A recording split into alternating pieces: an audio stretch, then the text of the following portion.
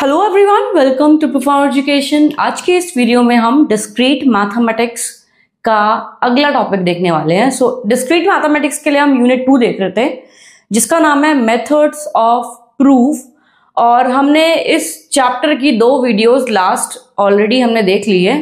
तो दो वीडियोस में हमने कवर किया था। फ़र्स्ट में कुछ डेफिनेशंस थी मेथड्स प्रूफ थ्योरम वगैरह की। एंड उसके बाद जो हमने नेक्स्ट वीडियो में देखा था, वो थे हमारे एग्जाम्पल्स कि कैसे थ्योरम्स होते हैं एंड किस तरीके से हमको कंसिडर करते हैं कि ये प्रूव्ड होने के बाद थ्योरम कहला रहे हैं। तो कुछ क्वेश्चन हमने छोटे छोटे देखे थे सेकेंड वीडियो में। तो आज ये हमारी है थर्ड वीडियो और ये हमारी इंपॉर्टेंट वीडियो होने वाली है क्योंकि अब आगे अब जितने भी वीडियोस आपको मिलेंगे इस यूनिट टू के, वो सारे क्वेश्चंस बेस्ड होंगे।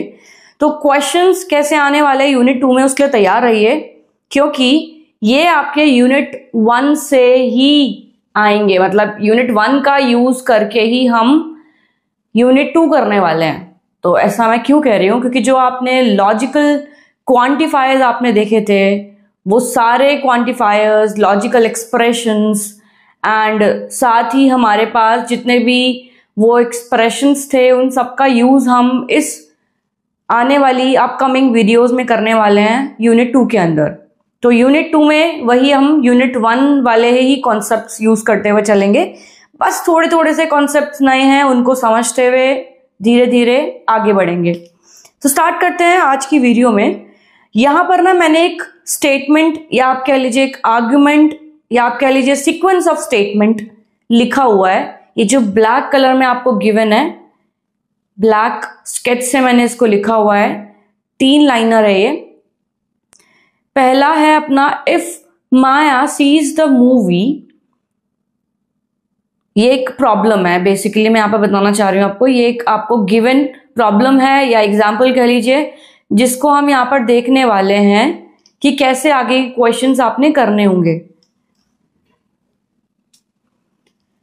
तो बात करते हैं क्वेश्चन पे चलते हैं वापस। If Maya sees the movie अगर माया मूवी देखती है, अगर माया मूवी देखती है she won't finish her homework वो अपना काम नहीं कर पाएगी। वो अपना काम नहीं कर पाएगी। ऐसा हम इस लाइन में एक साथ कह रहे हैं कि अगर वो मूवी देखती है तो वो अपना काम नहीं कर पाएगी। मतलब अपना होमवर्क कंप्लीट नहीं कर पाएगी, ठीक है? ये हो गया पहली लाइन। अब इफ़ और देन है अपना। हमने ये देखा था। अभी मैं बात नहीं करूँगी फिर दिन की, सिर्फ़ आप देखिए स्टेटमेंट किस तरीके की इफ़ वाली स्टेटमेंट है और हम कंक्लूड कर रहे हैं कि she won't finish her homework अगर वो मूवी देखती है तो। अगली लाइन में कह रहे हैं हम, Maya won't finish her homework Maya अपना काम फिनिश नहीं करती है तो देयर फोर हम कह रहे हैं therefore Maya see the movie तो माया क्या करती है? मूवी देखती है। माया सीज द मूवी तो मूवी देखती है। अगर वो काम नहीं कंप्लीट करती है तो। हमने यहाँ पर देयर फोर का यूज़ किया है। हमने यहाँ पर इफ़ और देन वाली स्टेटमेंट का यूज़ किया है। साथ ही हमारी एक और अलग सी स्टेटमेंट यहाँ पर और ऐड हुई है। इस पूरी स्टेटमेंट के बाद ये दूसरी स्टेटमेंट एंड देन हमारी ये तीसरी स्टेटमेंट तो ये पूरा एक आर्ग्यूमेंट है। अपना इसे आप कह लीजिए सीक्वेंस ऑफ़ आर्ग्यूमेंट कह लीजिए सीक्वेंस ऑफ़ स्टेटमेंट कह लीजिए। इसको हमें बताना है, इस इस तरीके क्वेश्चन को आपको बताना है कंसिडर करना है कि बेसिकली ये एक स्टेटमेंट वैलिड स्टेटमेंट होगी या इनवैलिड स्टेटमेंट होगी? आपको क्या लगता है, ये एक वैलिड स्टेटमेंट है इनवैलिड है? हम ऐसे नहीं बता पाएँगे कि ये वैलिड होगी इनवैलिड स्टेटमेंट होगी। हमारे पास एक तरीका है, एक फॉर्मल तरीका है, इसे करने का ट्रुथ वैल्यूज़ का राइट ट्रुथ वैल्यूज़ का यूज़ करते हुए हमने बहुत सारे स्टेटमेंट्स को वैलिड और इनवैलिड बताया है। ये हमें क्लियर है। क्योंकि यूनिट वन में हम यही करते हुए आए हैं। और यूनिट टू में भी हम ट्रुथ वैल्यूज़ का ही यूज़ करने वाले हैं। ये एक बहुत अच्छा फॉर्मल मेथड है जिसका यूज़ करके हम एक स्टेटमेंट को वैलिड या इनवैलिड प्रूफ करते हैं। तो ये अपना जो चैप्टर है, वो क्या है? मेथड्स ऑफ़ प्रूफ्स का ही। तो चलते हैं अब प्रूव और डिसप्रूफ के बारे में कि कैसे आपने इस तरीके के क्वेश्चंस को करना है। तो पहले हमें क्या करना है ना, जब भी आपको ऐसी प्रॉब्लम गिवन होगी, इस प्रॉब्लम को पहले ब्रेक डाउन करना है कि इसमें कितनी स्टेटमेंट्स आपको दिख रहे हैं। माया सीज द मूवी पहली statement she won't finish a homework दूसरी statement Maya won't finish her homework ये तो वही सेम दूसरी स्टेटमेंट ही है, बस यहाँ पर प्रोनाउन है तो यहाँ पर नाउन है। ठीक है? और यहाँ पर माया सीज द मूवी ये अपनी फ़र्स्ट स्टेटमेंट तो ओवरऑल हमारे पास यहाँ पे कितनी स्टेटमेंट्स है? दो स्टेटमेंट्स है। तो पी और क्यू ऐसे आपने पी क्यू डिनोट कर देना है, जैसा हम करते आए अभी तक भी। तो पी हमारी एक स्टेटमेंट हो गई माया सीज द मूवी दूसरी स्टेटमेंट हो गई Maya won't finish a homework यहाँ पर मैंने माया यूज़ किया आप चाहे तो शी भी यूज़ कर सकते हैं। मतलब यहाँ पर कॉन्टेक्ट जो है वो माया के लिए यूज़ हो रहा है। तो हमने पहली स्टेटमेंट और दूसरी स्टेटमेंट को इस तरीके से लिख लिया है। अब ये जो पूरी स्टेटमेंट है ना, ये जो पूरा आपके पास गिवन है क्वेश्चन इससे मिलकर एक आर्ग्यूमेंट बनता है। कैसे बन रहा है वो आर्ग्यूमेंट हमने लॉजिकल एक्सप्रेशंस करे थे अपने लॉजिकल कनेक्टिव्स देखे थे हमने तो इफ़ और देन वाला भी कनेक्टिव हमने यूज़ किया है राइट एम्प्लाइज या इम्प्लीकेशन ये सब हमने यूज़ किए हैं। तो पहली स्टेटमेंट जो if my sees a movie she won't finish a homework is the implication statement and we can write P and Q together like this P implies Q right अब इसी स्टेटमेंट में हमारी ये स्टेटमेंट एंड होते ही अगली statement आ गई। अगली statement सीधा आई है एंड हम यहाँ पर एज्यूम करेंगे ऐसी स्टेटमेंट्स के लिए कि ये इसी के साथ एंड मतलब इसी के साथ की स्टेटमेंट ही है और नहीं है इनके बीच में। तो हम यहाँ पर एंड ऑपरेटर यूज़ करेंगे।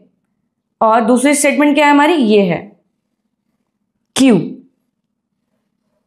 won't finish a homework अगर यहाँ पर पी होता, माया सीज द मूवी होता तो हम यहाँ पर पी लिखते। लेकिन हमने क्यू क्यों लिखा है? क्योंकि Maya won't finish a homework is a second statement which we have denoted as Q clear है? पी इंप्लाइज क्यू ब्रैकेट में रखा, क्योंकि पहली स्टेटमेंट है, उसको हमने लॉजिकली ऐसे रिप्रेजेंट किया है। दूसरा, दूसरी स्टेटमेंट कंबाइन करके एंड और क्यू हमने लिखा है? एंड में हमारे पास therefore Maya sees the movie लिखा हुआ है यहाँ पे स्टेटमेंट में। तो देर फोर के लिए ना हमारे पास एक एक्सप्रेशन है जिसको आप इस तरीके से डिनोट करते हैं। ये ये इसका नोशन है जिसको हम देख रहे हैं देर फोर के लिए यूज़ करना है आपने इसे। देर फोर का मतलब होता है ना कि अगर ये पूरी स्टेटमेंट ट्रू है तो ये ट्रू है। अगर ये फॉल्स है तो ये फॉल्स है। मतलब इसके लेफ़्ट साइड और राइट साइड में जब आपका प्रोमिस ट्रू होंगे तो आपका कंक्लूजन भी ट्रू होगा। कुछ इस तरीके से देयर आपका सिंबल कहता है। आपको बस इतना ध्यान रखना है कि ये जो सिंबल है, इसको हम इस तरीके से नोट करेंगे। हम इन सिंबल्स के बारे में आगे और समझते हुए चलेंगे, लेकिन अभी सिर्फ़ इसी क्वेश्चन पे रहते हैं और बहुत सरल तरीके से कोशिश करेंगे कि इस क्वेश्चन को, इस तरीके के आने वाले क्वेश्चन को हम सॉल्व कर सकें। हमें अभी तक कोई डाउट नहीं है, क्योंकि हमने हर एक एक्सप्रेशन को लिखा पहले एंड देन उनको लॉजिकली एक्सप्रेस किया। हमें ये चीज़ क्लियर है। देयर फोर जहाँ भी आएगा, आपने इस तरीके का सिंबल यूज़ करके एंड हमारी जो लास्ट स्टेटमेंट है, वो क्या है? पी स्टेटमेंट है, इसलिए हमने पी लिखा। अब लॉजिकली ये कुछ इस तरीके से लिखी गई है एक्सप्रेशन अब हमें फाइंड आउट करना है कि ये जो एक्सप्रेशन है ना, हमारा अल्टीमेट गोल क्या है? वैलिड और इनवैलिड फाइंड आउट करना राइट तो वैलिड इनवैलिड के लिए अब हम क्या करेंगे? हमने लॉजिकली इसको एक्सप्रेस कर दिया। अब लास्ट जो हमारे पास क्या है? ट्रुथ टेबल्स अब हम ट्रुथ टेबल्स बनाएँगे इस एक्सप्रेशन के लिए। अब वो ट्रुथ टेबल्स आने के बाद आपने कैसे कैसे आपने फाइंड आउट करना है वैलिड और इनवैलिड वो हम डिसाइड करेंगे ट्रूथ टेबल बनाने के बाद ही। तो पहले ट्रूथ टेबल वाला कॉन्सेप्ट देख लेते हैं यहाँ पे, जो कि अपना सेम ही है, जो हमने यूनिट वन में देखा था, जो हमने यूनिट वन के चैप्टर में कवर किया था, वैसा ही है। देख लेते हैं एक बारी। पी और क्यू है तो दो हमारे पास कॉलम बनेंगे यहाँ पे। P and Q P and Q दो कॉलम्स हो गए, दो स्टेटमेंट्स है मेरे पास। तो क्या होगा? टू टू पावर टू तो फोर होंगे total. True true, false false right true, false true, false. Clear है हमें? पी के लिए ट्रू टेबल्स और क्यू के लिए ट्रू टेबल्स हमें क्लियर है? ठीक है, आगे बढ़ते हैं। पी इंप्लाइज क्यू को हम पहले, पहली स्टेटमेंट को हम पहले यहाँ पर ट्रूथ टेबल्स के लिए फाइंड आउट कर ले। तो P इंप्लाइज Q के लिए क्या होगा? हमारे पास याद है ये रूल हमें क्या देता है? ट्रू ट्रू ट्रू होता है ट्रू फॉल्स फॉल्स होता है, लेकिन फॉल्स ट्रू ट्रू होता है। साथ ही, इसमें क्या होता है इंप्लीकेशन में? फॉल्स फॉल्स भी ट्रू होता है। मतलब ट्रू फॉल्स तो फॉल्स हुआ एंड वाला ही। फॉल्स ट्रू ट्रू हुआ एंड वाला ही। फॉल्स फॉल्स लेकिन ट्रू हो जाता है। यही इंप्लीकेशन हमारा रूल है। तो इंप्लाइज के लिए पी इंप्लाइज क्यू के लिए हमने इस तरीके से नोट कर दिया। मतलब हमारी जो पहली स्टेटमेंट है if Maya sees the movie she won't finish her homework उसको हमने इस तरीके से डिनोट कर दिया है। देन अब हमारे पास लास्ट एंड उनको कंबाइन करेंगे। P implies Q bracket close open close and Q Q क्या है अपना? ये। तो इन दोनों को आपस में हमें करना है एंड ऑपरेटर के साथ सॉल्व ट्रू ट्रू ट्रू ही होता है फॉल्स फॉल्स फॉल्स ही होता है ट्रू ट्रू ट्रू ही होता है, लेकिन ट्रू फॉल्स क्या होता है? फॉल्स होता है एंड ऑपरेटर के केस में। क्लियर है हमें ये? अब यहाँ पर हमने पिछली वीडियो में बात की थी प्रमेशर्स ऑन कंक्लूजन के बारे में। वही उस तरीके से ही हम चलेंगे इस पूरे ब्लॉक इस पूरे यूनिट में बेसिकली तो पूरे यूनिट में हम प्रोमेसेस की बात करेंगे कंक्लूजन की बात करेंगे, जो स्टार्टिंग में हम हमने premises on conclusion last video में अच्छे से समझा है। आप एक बार ये उस वीडियो को ज़रूर गो थ्रू कीजिए। तो प्रेमिसेस क्या है हमारे पास? कि अटेम्प्ट पहला अटेम्प्ट ये है, दूसरा अटेम्प्ट ये है, हम यहाँ पर अटेम्प्ट इसको भी मान रहे हैं। देन हम एंड में कंक्लूड कर रहे हैं देयर फोर माया जो है मूवी देखती है। ठीक है? तो हम कहते हैं कि जो ये सारे आपके प्रेमिसेस है ना, ये सब इस तरीके से हमने इसके लिए टू टेबल्स फाइंड आउट किए। तो ये प्रेमिसेस हो गए मेरे P implies Q and Q अब जो ये हमारा देयर फोर के बाद वाला सीन है, जो देयर फोर के बाद वाली स्टेटमेंट है ना, वो हमारी कंक्लूजन है। तो वो हमने किससे एक्सप्रेस की है? Maya sees the movie therefore Maya sees the movie किससे की है? पी से डिनोट की है। तो माया सीज द मूवी ये मेरा पी स्टेट पी जो कॉलम है, ये मेरा कंक्लूजन वाला कॉलम है। हमने यहाँ पर डिनोट कर दिया पी और क्यू सॉरी प्रेमिसेस और कंक्लूजन तो मेरा पहला कॉलम है कंक्लूजन और लास्ट का कॉलम है मेरा प्रेमिसेस हमें ये क्लियर है?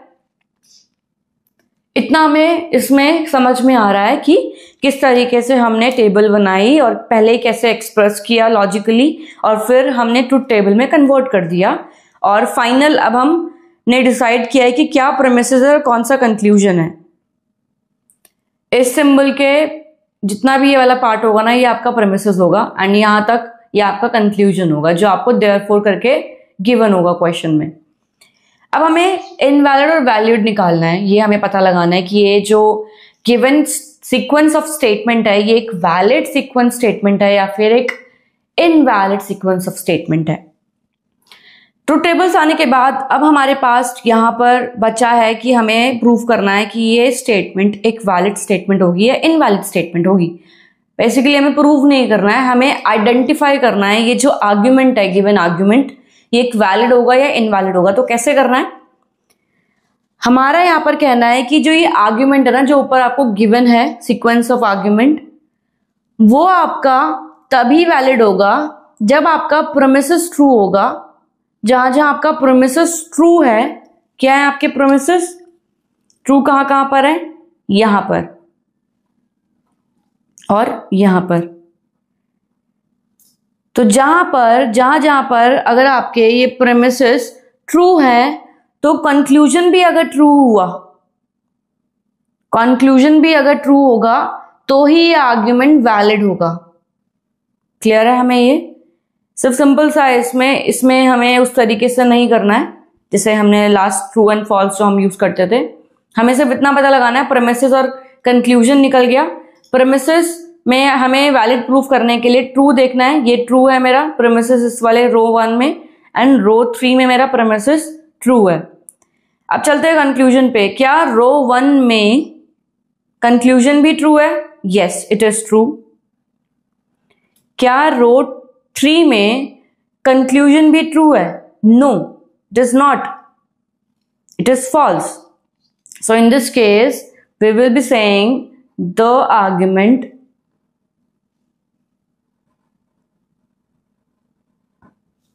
is invalid और हम कह सकते हैं नॉट वैलिड